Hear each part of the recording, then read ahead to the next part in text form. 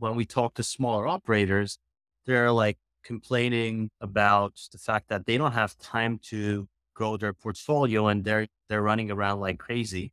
So it's really important to identify the recurring tasks that could be delegated easily to others and then focus on your business, growing your business, making sure that your financials are in good shape rather than responding to like Wi-Fi troubleshooting issues in the middle of the night or answering like why early check-in is not available like with a 10th time like in a week to different guests. Welcome to Short Term Rental Solutions, a show for hosts and property managers looking to overcome obstacles, maximize revenue, and optimize their short term rental business by learning from the innovators who are designing the solutions that are shaping our industry.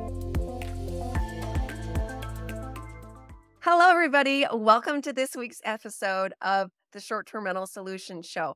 This is going to be a great episode, completely well worth your time because we're talking about something that's important to people in the short term rental industry, kind of across the spectrum. And that is the concept of scaling and how to grow your business, specifically with how to use remote team members and remote staff to help you um, not only scale, but also there are people who are, you know, choose to hire a property management company because they're afraid of the time commitment and obligations that are involved with um, self managing. And if you understand and are able to take advantage of some remote staffing options, then it could potentially unlock the ability to you for you to successfully self manage a small handful, a small portfolio of properties.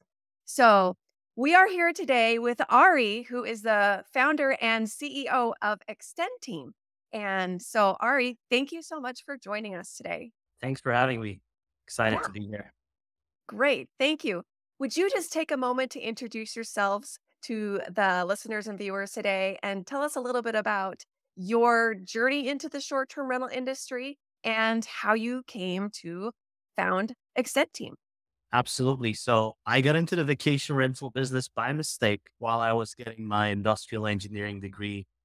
Uh, as I believe I was like a sophomore at the time, like at USC here in Los Angeles, California. And a friend of mine decided to take a semester semester off. Like he was having some personal issues with his girlfriend at the time. So my journey into short term rental started by subletting his one bedroom apartment in downtown LA on VRBO. Like back in the day, like Airbnb wasn't even even like out there. Like and VRBO was charging based on the number of photos that you upload. It was like uh, a directory similar to Craigslist. That's how my journey started after the 08, 09 real estate crisis. And I, I formed like a property management company, like here in California, and then got involved into other short term rental ventures as well. Yeah. So I'm sure that experience of, you know, property management and whatnot, you really understand kind of intimately the pain points and the things that are involved with once you get to the point where you need staff, scaling, hiring, training, all of that. Absolutely. Like, and honestly, like when I was running my own company, as I told earlier, like I was a full time engineering student. So I didn't have the budget like to hire like someone stateside or had the time like to like run a portfolio of units. So it started as a need like for my own company. Like I started hiring people for my own company, remote remote team members from overseas for my own property management company, and that scaled from there. Yeah.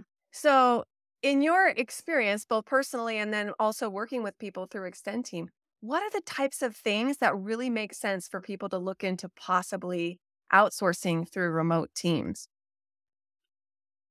That's an excellent question. Like typically like it's really important like to pay attention to like the type of person that you are hiring and also like what kind of tasks one is willing to delegate to someone else, right?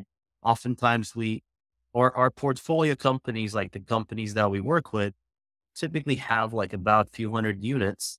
But uh, when we talk to smaller operators, they're like complaining about the fact that they don't have time to grow their portfolio and they're they're running around like crazy. So it's really important to identify the recurring tasks that could be delegated easily to others and then focus on your business, growing your business, making sure that your financials are in good shape rather than responding to like Wi-Fi troubleshooting issues in the middle of the night or answering like why early check-in is not available like for the 10th time like in a week to different guests if that makes sense Yeah, yeah. So definitely guest guest communication is something that's relatively easy to, you know, document the answers to frequently asked questions and then pass that off to someone who can help.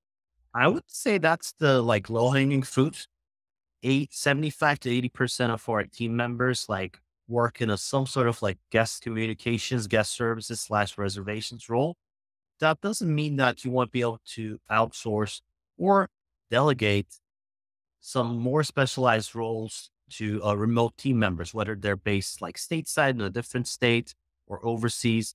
Some other positions that we found success is revenue management, marketing coordinators, executive admins, maintenance coordination and dispatch positions. So we even like hire like full stack developers for like some of the uh, property management companies that were like building their own property management system. So anything that could be done remotely, like we can help you with that.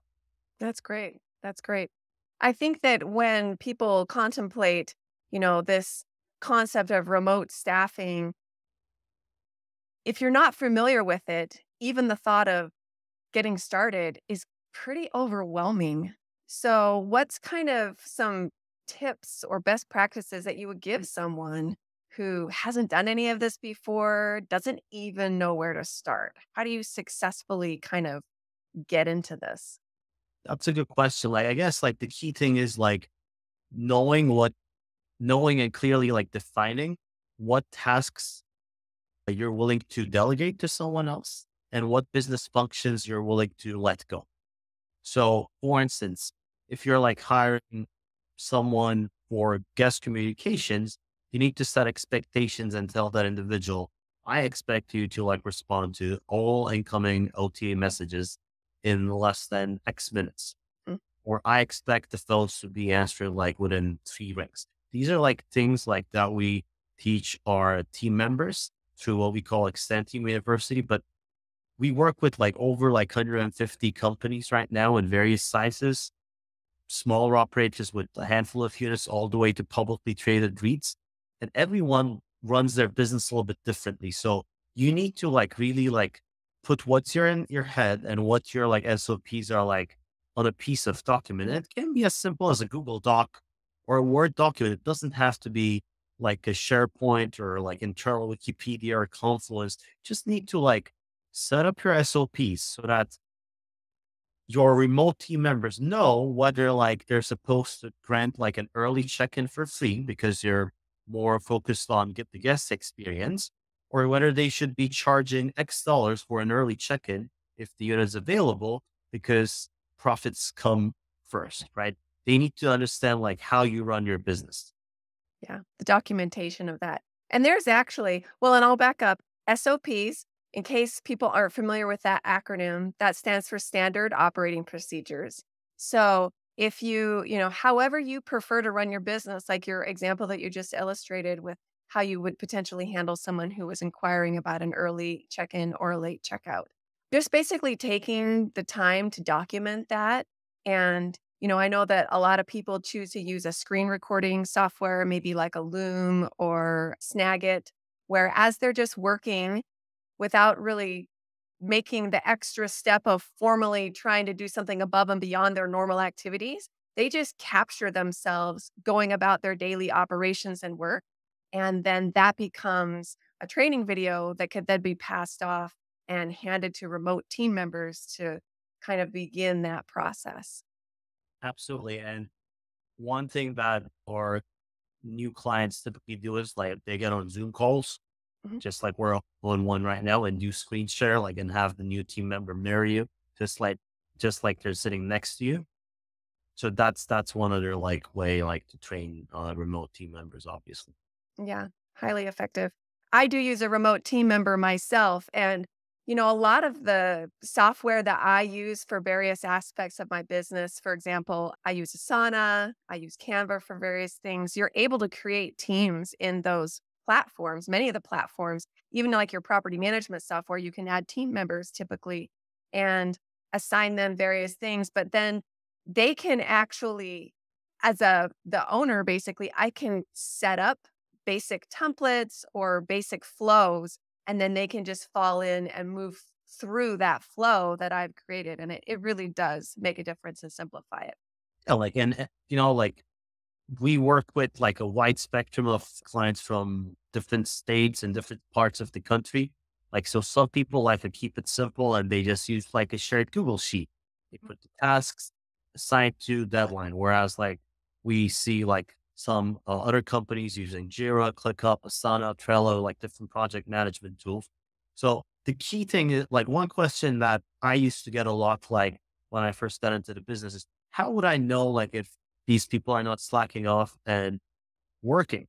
And I asked the question like, how do you know like that your like employees that are like sitting in the office are not slacking like when you're like running around running errands and when you're out of the office? So the key thing comes to like setting expectations right.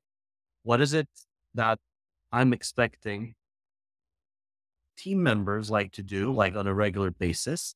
And if there are like any ad hoc tasks or projects, who's responsible for it? What's the deadline and what's the scope of work? Yeah. The the clear expectations and clear assignments does make a really big difference. So, okay, so now someone who's thinking, okay, this is something that I want to step into, that process of how do you then go about finding reliable team members? And it's interesting that with Extenteam, you guys specifically are niched down to the hospitality industry. Yes, like so our our client base is short-term rental operators so not only like the hospitality industry, but we focus mostly on the short-term rental space. We have a small division that handles uh, multifamily and traditional rentals, but we're extremely laser focused in the STR space. And as a result, like we only hire people who worked at like either like vacation rental companies or five star resorts before who speak better English than I do. So we have like a bunch of boxes that people need to check before they they can become like an Extenteam candidate. Then they go through Extenteam university, like which we curated with our friends at KTN Kennedy Training Network. Kennedy, it's a program that he created for us that educates individuals on the differences between like a stateside US based company and like a company that may be based based in Asia, right? Like the slang that Americans use, like how to communicate with guests, what to do at difficult situations, small talk, stuff like that is what we teach. But we also look at people's capabilities of being able to coach you. It's not very easy to find individuals who would, you know, like know this PMS and that revenue management system and has five years of experience like in a guest communication so we look for people's ability to learn those skills and their like attitude as well. That's great. And I hear you mentioning that there's kind of a vetting process. And so when people reach out and uh, connect with Extenteam looking for some remote team members, kind of that initial vetting sounds like has already been done. Correct. Like, so since we're like a fast growing company, like well, we always have like candidates like what we call like they're like on the bench, ready to be deployed. Because uh-huh. we sort of know more or less based on our sales figures, like how many people we would meet. And as a result, like we we can place people in less than 14 days, typically much faster. It it the, the numbers go up a little bit if these are like specialized roles. If you're looking for a full stack developer, like who's going to help you like build a module on your PMS, obviously we need a little bit more time and a little more thorough like screening. Yeah. Yeah. So what what would you say for people they they get a team member, they're working with them and it's maybe not working out the way they had imagined? What are some ways? I mean, I'm sure you guys have dealt with that, helping people with that connection. What are your thoughts on that, Debs, as far as how people can increase the odds of success? Because I know so many people who went and hired a VA or a remote team member and they had them for a few months and then they're like, oh, I ended up letting them go. So typically it really comes down to like what we talked about earlier, right? Like setting up expectations and training them. Like even if I were to hire like someone who would be sitting right next to me, it's very it, it takes time like to transfer like the knowledge as well as like how one operates, right? Everyone operates a little bit different. And you know, like my assistant, like Marion, like she's been with us for like three years. Now like she knows how I operate. But if the more time and energy you put put in to communicate with your remote team member, better they would be functioning. And I guess like this applies to like all sorts of relationships, whether it's like professional or personal. You just need to communicate. The typically like when we have issues where like our new clients are like not so happy about it, like we try to like turn turn the mirror and like uh, so like did you actually like teach them on your policy? Oh no, I was expecting this person to like move this guest from well, like if you didn't give them the authority, if you didn't tell them that they can move a guest from a two bedroom condo to a four bedroom oceanfront house, wouldn't you be upset if like the person took initiative and did that? Like it all comes down to training and communication. Yeah. And maybe the expectation on our end as the short term rental professional that there's going to be a, a period that could potentially be a few months long where they're continuing that learning is continual. Uh, you know sometimes there's this urgency when you you hire someone to be a remote team member because you're really eager to pass things off. Mm-hmm. and you know people who rush that handoff and who aren't willing to continue to kind of like you said mirror with them walk with them side by side. And i found also and you can maybe speak to this the cultural differences, depending on where your remote team members are from, people from different countries can, you know, ex- handle that feedback and that redirection and stuff differently. I work with someone from the Philippines personally, and I made sure at the very beginning of our employment relationship, I let that team member know it is okay if you don't understand how to do something please let me know if you have questions. I won't be mad. I won't think you're not doing a good job. Like, I don't expect you to know everything up front, and it's really, really okay. And because I kind of diffused that right up front, I was thrilled when I saw that she was asking me questions and seeking additional input. And so then, as the months have gone by, she's just continued to grow and become a more and more valuable employee. So I don't know. That's been my experience. You're you're spot on. Like it's a two way street, right? Like communication needs to have flow like both ways. And one thing that I've seen is I don't want to generalize, but like this typically happens with smaller operators. Like typically, like when they come to us, they they have some sort of immediate need, right? And they they look look at us as like we would come with a magic wand and like take all their problems away. The truth is like running a short-term rental business is not an easy job, like especially like when you're like small and you're just getting started. So sure, like we can't co- provide you talented people, but as a leader, as the owner of the short-term rental company, you also have to like roll up your sleeves and take the time to train these individuals. And due to the fragmented nature of the STR industry, like everyone does things a little bit differently. Like when you look at the hotel industry, which is a little bit more mature, like both in Europe as well as stateside or all across the world, the policies and processes are like more or less standardized, right? If you worked at a Hilton, even if you like go to like a Marriott group, like the check-in, like this, the, you probably would be using Opera like as the system. The housekeepers probably have the same uh, SOPs or similar SOPs. The VR industry is so fragmented, like it's if you're like at a mountain destination, you may have to go to an office to get the keys. One may be asking you to strip the beds, believe it or not, like despite us being in 2023. Whereas like another company may be offering like daily, like turn down service. So it's very fragmented. And we we see a lot of success at companies that have a good culture and good leadership, if you will. But based back to what you said about cultural differences, like we welcome diverse people and we work with company team members, Philippines, Mexico, Chile, like, and everyone's a little bit different. So it's it's really good to like have like open communication lines, as you mentioned, and tell your team member, listen, it's okay for you to not get something. That applies to people that are based stateside as well. So open communication is key. Absolutely. And I think when I I felt like as I've been willing to extend that grace, it's developed more. I feel like the relationship has developed more rapidly and the loyalty has come along much quicker because they immediately begin to feel like I care about them and that I'm willing to invest time and effort into them. I'm not going to just kind of make a quick assessment and, you know, let them go in a flinch moment, you know, because it hasn't worked out in the first 30 days, you know. It's And okay.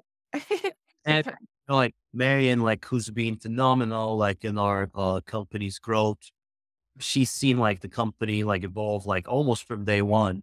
And just like me, like she's not perfect. She makes mistakes and you know, like her and I like built that working relationship. So if she makes mistakes, she owns it. Then it's fine. You know, we all make mistakes. We're not like super human beings or bots. At the end of the day, people have good days, people have bad days. Yep. So, and I know that you guys do not like the term VA.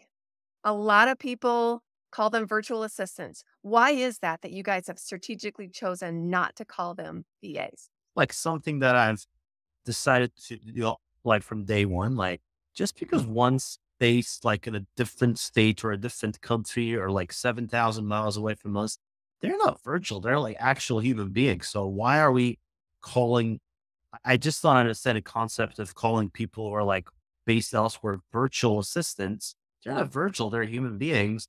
If we're talking about Alexa or Siri, like sure, like call those virtual assistants, but I think we want to humanize what we do. Like at the end of the day, like I fly out to the Philippines to meet with 400 plus team members that we have there, and they have families just like we do. They have kids. They they have issues. They they have social lives. So like they're like human beings just like we are. Like so, I just don't like the concept of calling people virtual just because they're like not based in the U.S.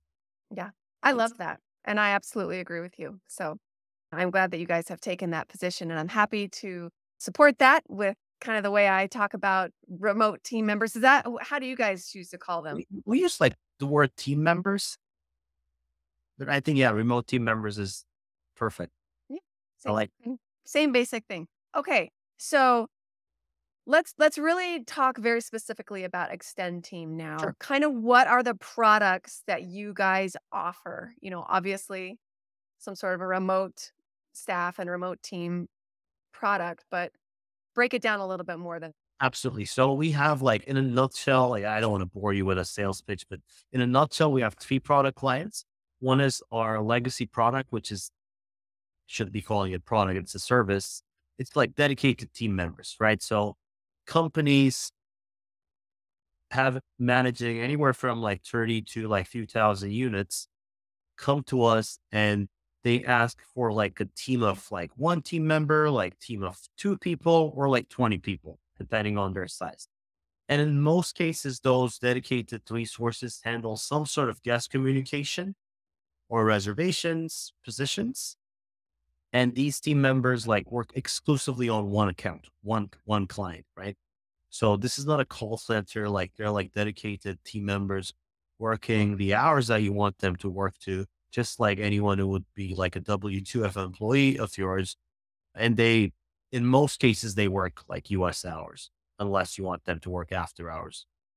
The second product that we have is our accounting services.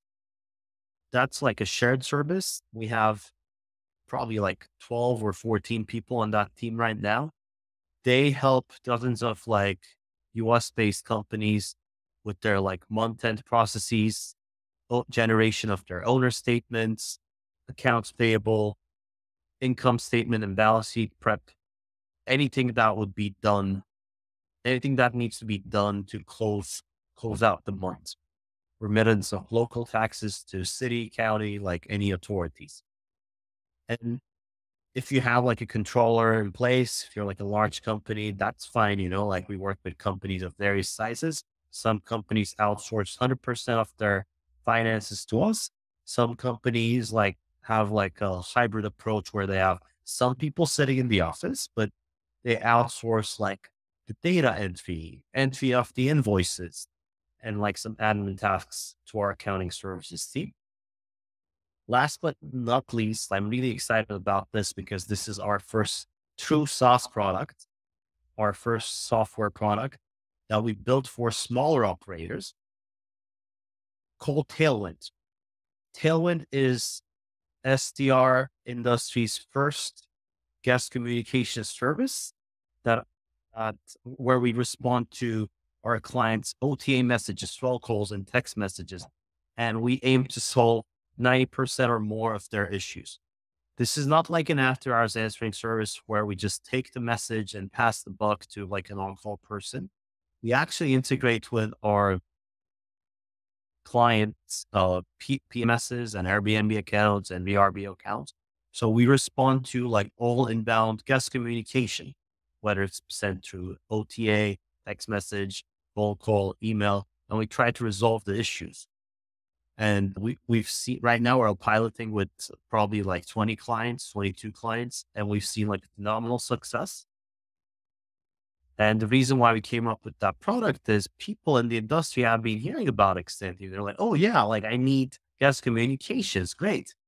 But they didn't have the need of like say like a five person team to cover 24 7 365 just because they didn't had a few hundred units so with tailwind it's a flat fee per unit per month that our clients pay and uh, we handle all the guest communications and i think that's going to be gaining more tailwind in the upcoming uh, months yeah well i actually kind of got not a sneak peek, but I got word of this. I had the opportunity to learn about this Tailwind product before you guys had fully launched it. And I agree, you guys are bringing something to market that there is definitely a need for.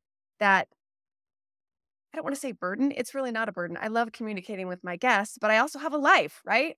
Yep. So it's great to think that I can, you know, and we already, there are tools that can automate guest messages. Like I have a standard message that goes out to guests automatically when a reservation is confirmed or automatically the night before they check out to remind them of the, you know, two or three things to do before they leave. But then there's always those little things that are, you know, specific custom questions or one offs. And so those are when I have to pick up my phone and respond right away. And it's not that difficult, but, you know, when you're growing a portfolio of properties, the small things add up. And so, and you know, we yeah, you have AI now. You know, there's lots of places where people are like, oh, well, AI will be able to generate that message and potentially respond to even those custom messages. But I think that there's still a place where, you know, an actual human being can see that question or see the need that the guest has and be able to address it. So, and, you know, there's, they, it is, it's kind of like this enterprise level, you know, to this point, that solution has mostly only been available at the enterprise level. You know, big, large property management companies that do have, a, a you know, staff and people mm-hmm. dedicated towards guest communication. But there's there's just a tremendous amount of smaller operators and even just people who started with one or two properties that their trajectory is growing a portfolio, potentially becoming ho- co-hosts and nurturing themselves professionally to become potentially a property management company down the road. And so one of the barriers for people to be able to do that is potentially the time commitment that's involved. And so and having a yeah, having a solution like Tailwind is really important. Absolutely. And it's not about the time commitment per se, but like what was bothering me, like when I, before when I, I'm going like 15 years back, like when I was running my own company, it wasn't much time that it took, but it was the fact that I had to be on call 24 7, 365. Like I was going to movies, then like a guest is calling me because they didn't read the check-in instructions and they can't locate the lockbox or the toilet is clogged, right? Like, so these are things that at the end of the day, like, in my opinion, like, this is not a real estate business. Like, this is a hospitality business. Like, short term rentals are mostly like leisure travelers, and we need to be hospitable towards our guests. And having that person on the phone pick up the phone when it rings, or uh, having someone to respond to text messages and OTA messages, it may not take much time, but the fact that it's not stackable and it, those messages may come at any time, like makes a lot of difference. And so far, like the feedback that we're getting is amazing because one one mother like picked up the phone and she actually thanked me personally for like having her own life back because now like she can spend more time with her family and kids. Yeah. When you think about it, right? Well, I can give a personal illustration of this. Just this past weekend, our family went camping. We went camping into the mountains, went fly fishing, had a wonderful time. And I, w- I looked at my, you know, calendar before I left, touch base with my guests, let them know there'll be this interval of time where I will not have internet service. You know, is there anything I could do for you before I go? And, you know, and then I immediately checked back with them. It, I would love to have not had to worry about that and just to not even think about it. I can be on a plane in airplane mode. I can be out of cell phone signal, any of these types of things, and my business isn't going to skip a beat. So fantastic. Fantastic. So let's go ahead. And I know that you are willing to extend a bit of an offer to people from Extenteam. So why don't you tell us a little bit about that? Yeah, like so typically like with our all of our services, there's like a small onboarding fee involved and we're willing to give 50% off on all our product lines, uh, product lines onboarding fees, like for people who mention the podcast, the solutions podcast. Great. Great. That is fantastic. So thank you so much, Ari, for taking Absolutely. some Thanks time. for having. Yeah, to speak with me. I loved it. Lots of really helpful information for people who have heard about, uh, you know, VAs, quote, quote, or remote team members, and maybe didn't know what that looked like. Really constructive, solid information. So thank you for being on the show. And I, again, why don't you tell everybody? I, I think I forgot to mention it, but why don't you tell everybody where they can find you and Extenteam? Sure. Like, uh, obviously, you can find us on extenteam.com and we'll be at a lot of trade shows, like, you know, we'll be at VRMA, obviously, we'll be at Streamline. I think we're doing LiveRes next year track. So we'll be at almost every single trade show in the country. So just stop by at our booth, say hi, or just go on extenteam.com and click on contact us. You can always email me at my personal email. It's Ari, A-R-I at extenteam.com as well. And happy to chat with you as well. Thank Great. you. Great. All right. Thank you again for tuning into the show, everyone. We love having these conversations with the innovators that are designing the solutions that are shaping our industry. If you have any questions about problems or issues that you are facing in your short term rental business and want us to speak with companies that provide solutions for those problems, please be sure to reach out to us. You can reach me, Christiane at strhub.com. You could also DM or message me on any of the social media platforms where you can find me. We want to know how we can help you and just grow your short term rental business. So thanks again for tuning into our show.